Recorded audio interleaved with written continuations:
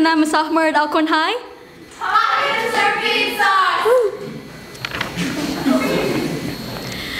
When I was young, not yet aware of my age beyond the fingers on my hands, they asked me, what was the purpose of my actions, for my childish choices, for the tears of injustice welling up in eyes untouched by the years when I turned 13?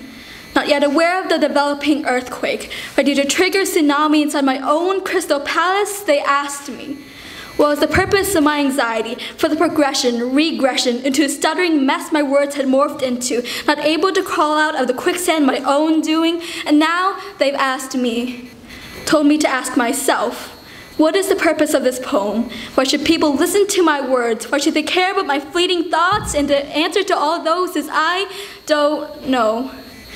I don't know the reasoning of my twisting, spiraling thoughts, constantly barraging against the barrier of my mind and tongue cracking but never able to break through. I can possibly tell you why I must listen to my never-lasting words, ephemeral, forgotten in a week's time in the forever loop of equations, vocabulary, dates and, dates and concepts, and I'm, I'm sorry.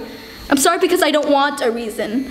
As my fingers hesitate at every touch of the keyboard, as I bite my tongue numb, scouring through my disjointed, disconnected ideas for a motive, a defining cause that doesn't exist because once upon a time, writing was my escape. As cliche as it is. Forming loose coalitions of letters into words, phrases, meaning, into worlds that reality can't touch. Writing isn't merely a goal to reach or a grade to be obtained, but freedom.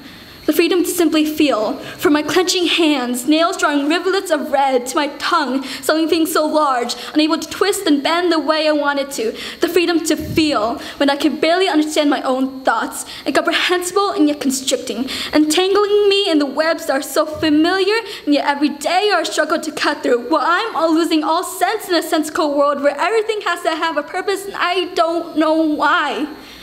Why there must be a driving force behind every syllable and every rhyme? Why can't I just spew my life stories, creating the waves of emotions pouring out as they drown in the suffocating air till no more blood is drawn from the ever-growing black and white lines until the breaths, the words fade. When I was 13, inside the not quite yet shattered Crystal Palace, I had no reason for the stutters that my speech had transformed into, and the lyrics that my words had become. When I was young, not concerned with the numbers above my mount of stuffed animals, I had no reason for the reckless and for the brave, beyond the twirling of the monarch butterflies. Beautiful, for they had no reason but life.